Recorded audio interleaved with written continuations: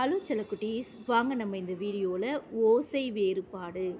இந்த ஓசை வேறுபாடுன்னா என்ன மிஸ் இது? ஓசை வேறுபாடு அப்படின்னா ஏற்ற இறக்கத்தோட பேசணும்.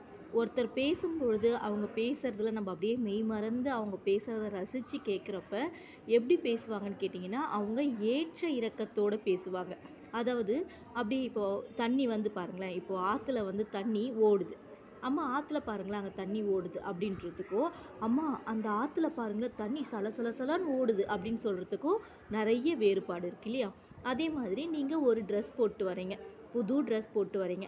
அம்மா கிட்ட சொல்கிறீங்க அம்மா எப்படிம்மா இருக்குது இந்த ட்ரெஸ்ஸு அப்படின்ட்டு. அம்மா ஆ சூப்பராக இருக்குது அப்படின்னு சொன்னால் பிடிக்குமா? ஈ இந்த ட்ரெஸ்ஸு உனக்கு ரொம்ப ரொம்ப ரொம்ப அழகாக இருக்குது நீ இந்த ட்ரெஸ்ஸில் ரொம்ப அழகாக இருக்க. அப்படின்னு சொன்னால் உங்களுக்கு பிடிக்குமா? நான் ரெண்டாவது வாட்டி சொன்னது மாதிரி தானே பிடிக்கும். ரொம்ப ரொம்ப அழகாக இருக்குது அப்படின்னு சொல்லும் பொழுது நீங்கள் ரொம்ப சந்தோஷப்படுவீங்க. அப்படி தானே அது மாதிரி ஓசி வேறுபாடு உள்ள சொற்களை இப்போ பார்க்கலாம். இங்கே பாருங்கள் சல சல என்று இலைகள் அசைகின்றன. சொல்லுங்கள் பார்க்கலாம். சல சல என்று இலைகள் அசைகின்றன. கலகல என்று சிரித்தான். பட பட என்று சன்னல் அடித்தது. குழு குழு என்று காற்று வீசுகிறது.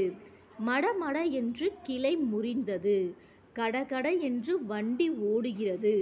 தட தட என்று உடல் நடுங்குகிறது.